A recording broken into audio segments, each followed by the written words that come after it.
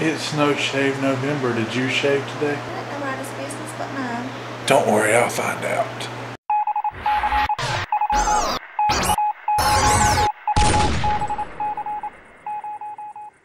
What's going on, YouTube? Baker Man coming at you today, and it is November 1st of 2016. You know what that means? No shave November. So me, I completely forgot.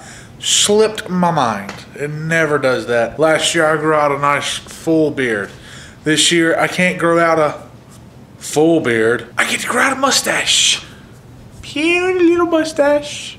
But it's the best I can do. So I was sitting in my my chair back yeah, this chair back here watching YouTube. Barnacles decided to remind me that today was November 1st. The day that you shave and start over in preparation for this entire month. So I guess I had to get up off my fat tail and do something for a change. Got up, went and shaved, took care of everything, and now here I am with the baby face.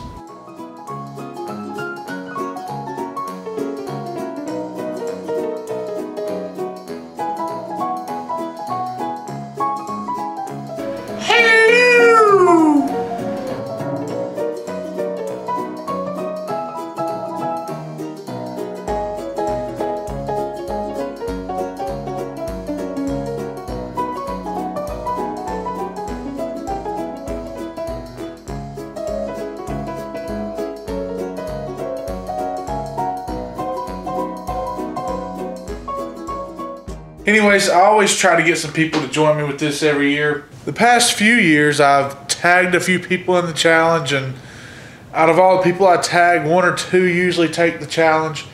This year, I'm going to do the same thing. I just hope that more choose to participate. October is for breast cancer awareness. No Shave November is for the guys. It's about protecting our giggly bits down there, you know, the parts that do get cancer. Let's bring some attention to that and some awareness to that. Hope you enjoyed this short video. If you would like to know some detailed information about No Shave November, I'll link Barnacles' video below because he does go into a lot more detail than I do, and he also cites his sources, websites, etc. Don't want to take anything away from him.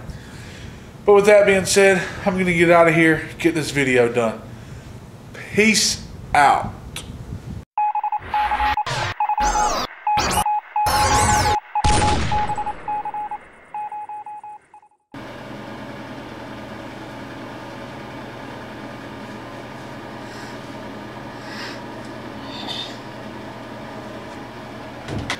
It's no shave November.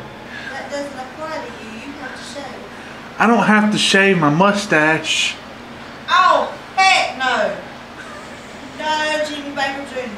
No, no, no, no, no, no, no. She doesn't like the mustache.